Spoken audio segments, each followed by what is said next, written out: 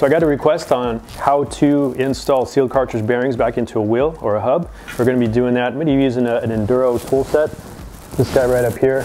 So that's probably the best thing if you want to not harm your bearings as you're installing them back in. Old fashioned way, we used to get just a hammer, maybe a screwdriver and start pounding away, but we're gonna cause a lot of damage to the bearing or to the wheels. There's alternatives, but uh, you make your choice.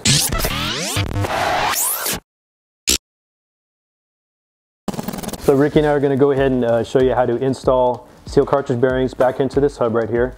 So we got our two seal cartridge bearings right there and one is bigger than the other so we got to locate which is going on which side and then we're going to go ahead and use our Enduro uh, bearing press kit right up there. So you go ahead and grab your kit and then you're going to match up the adapters to fit as tight as you can into that bearing.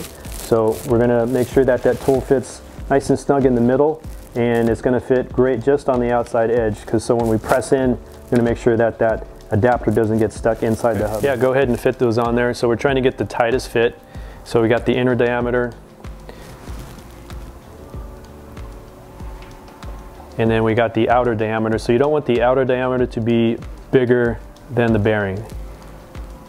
We found the correct uh, size adapters and you definitely don't want the adapters oversized, bigger than the bearing outer diameter, because when you go to press in your bearing, that adapter, we don't want that adapter to get stuck into the hub if it allows it. If we have to sink that bearing deep inside it and that adapter is gonna follow it and go deep inside, we want it slightly smaller in diameter so it won't get stuck. We'll be able to take it out when we're all done push it in, right? Yeah, so how's it look? So This looks exactly, it would be hitting the outer. yeah, so this is the adapter. So the adapter is hitting the outer edge of the, the wheel. So we're not gonna get anywhere there. So we have to find an adapter that's slightly smaller in diameter that'll allow us to actually sink inside the hub. So we'll find another one for that.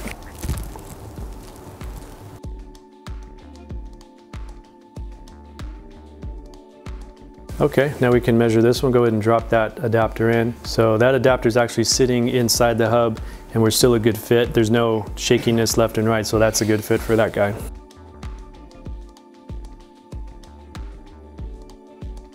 So now you're all set, you can go ahead and grab that. That's a anodized tool from Enduro.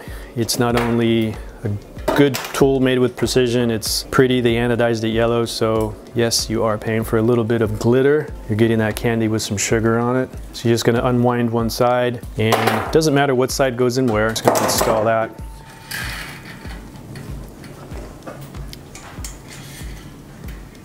And then you're sliding your tool on the other side.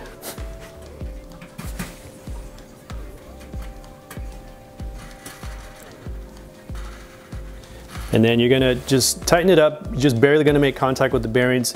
Double check, make sure both your bearings are still sitting flat and flush. You don't want one bearing crooked or cockeyed because it will get jammed in there. So as long as everything's looking flat and flush on both sides, you can slowly start turning. You'll start to see one or two of the bearings start to sink inside. One will probably set first and then the other one will follow.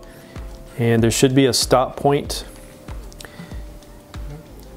And as soon as you feel that that where it hits the end, I just give it just a very gentle uh, little bit of a tightening, 16th of a turn, just to make sure it's seated properly and then go, and ahead, go ahead back out. Just unscrew and then you can pull the tool out.